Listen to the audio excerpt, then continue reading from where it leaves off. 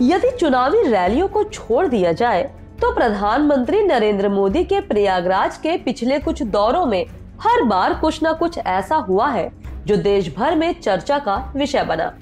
कुंभ मेले के पूर्व, चाहे वर्षों से किले में कैद अक्षयवट का दर्शन शुरू करना हो, या फिर कुंभ में ही सफ़ाई कर्मियों के पाँव पखाड़ने की बात। पिछले साल भी, जब पीएम मोदी 29 फरवरी को प्रयागराज आए तो उनकी मौजूदगी में एक दिन में ही दिव्यांगों को उपकरण देने का कृतिमान बना।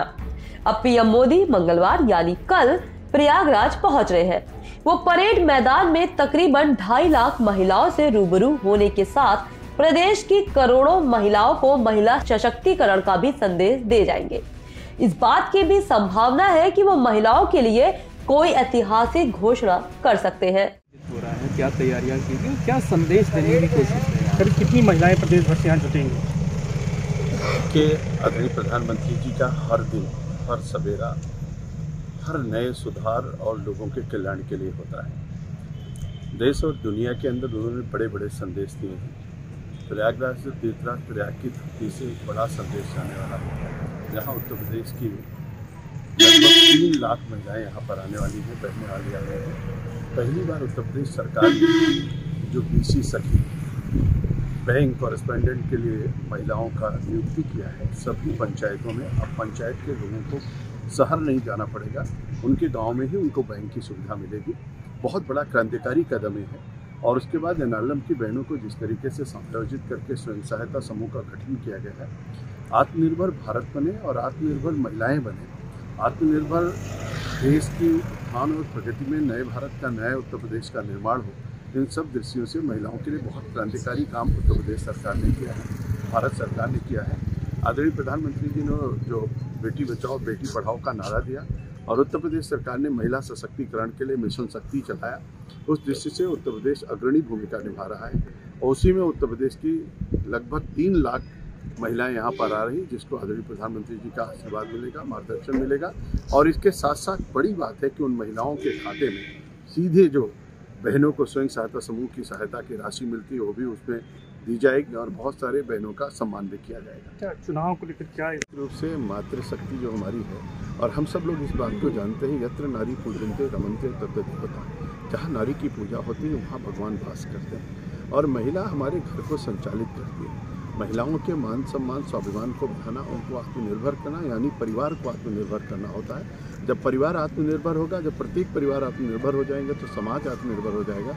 समाज आत्मनिर्भर होगा तो प्रदेश आत्मनिर्भर हो जाएगा, और प्रदेश आत्मनिर्भर होगा तो हमारा देश आत्मनिर्भर हो जाएगा। तो आत्मनिर्भर संकल्पना को पूर्ण करने के लिए महिलाएँ बहुत महत्वपूर्ण कड़ी हैं, जिसके लिए आदरणीय प्रधानमंत्री जी ने बहुत काम किया। प्रधानमंत्री नरेंद्र मोदी अपने दूसरे कार्यकाल में मंगलवार को प्रयागराज दूसरी बार पहुँच रहे हैं।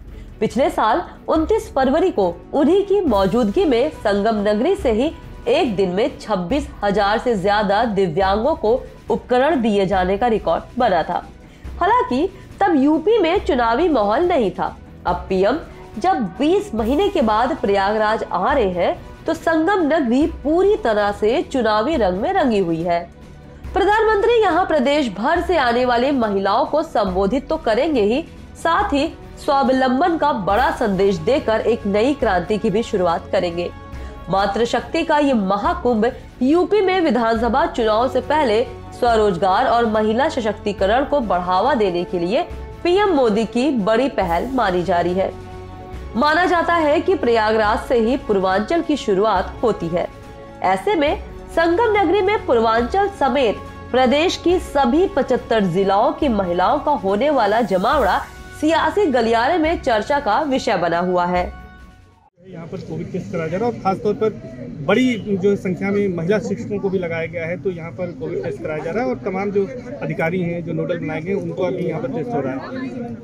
कल माननीय प्रधानमंत्री जी का कार्यक्रम है, जैसा कि आप जानते हैं, महिलाओं से संबंधित कार्यक्रम है और ढाई लाख के करीब महिला लाभार्थी आ रही हैं।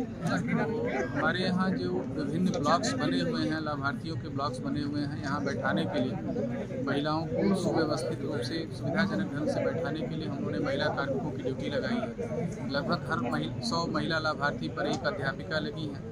हर पाँच सौ पे एक नोडल शिक्षक को लगाया गया है। और हर ब्लॉक के लिए हमने एक इंचार्ज सुपर नोडल बनाया हुआ है। इसके अलावा हमारी तीन महिला खंड शिक्षा अधिकारी, महिलाओं से जुड़ा कार्यक्रम होने से खंड शिक्षा अधिकारी हड़िया श्रीमती श्री ममता सरकार जी हैं और खंड शिक्षा अधिकारी नगर क्षेत्र प्रज्ञा सिंह हैं। खंड शिक्षा अधिकारी मऊ आईमा किरण यादव जी हैं। उनको हमने लगवाया है। इसके अलावा हमारी रंगोली की टीम भी लगी हुई है जो कि विभिन्न स्तरों पे अपना रंगोली का काम देख रही है। पार्किंग में भी हमारे टीचर्स लगे हुए हैं और समस्त खंड शिक्षा अधिकारी हमारे इस महायज्ञ में लगे हुए हैं। इस बड़ी व्यवस्था में सारे खंड शिक्षा अधिकारी लगे हुए हैं। क्योंकि कोविड का संक्रमण बीच में बढ़ता हुआ दिखाई दे रहा था। हम लोग इसका पूर्णतः अनुपालन कर रहे हैं। कल सारे अध्यापक, अध्यापिकाएँ, सारे अधिकारी फुली मास्क में रहेंगे। आज चूँकि अभी हम लोगों ने कराया तो इस समय मेरा मास्क उतरा हुआ है। सारे लोग इसमें रहेंगे। कोविड प्रोटोकॉल फुली फॉलो करना है और एक ग्रोथ सर्किल ग्रुप में भी जाना पड़ सकता है। इसलिए सारे कार्मिकों का हमने